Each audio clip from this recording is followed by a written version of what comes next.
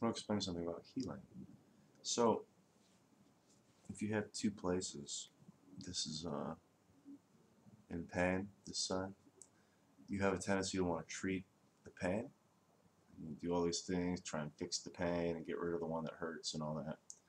When in reality, the tension that resides over here in this painful area needs to be dispersed to this area or any number of areas. And this area is not really conditioned to handle it. So you need to fix this area and this area will relax.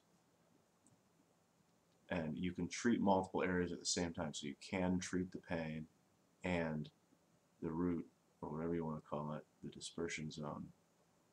And fix. Massage is great. Use your hands, put them on two places on your body. You, usually one area is connected to another area. And then you can like use, you know, the wall or the ground or like a bar.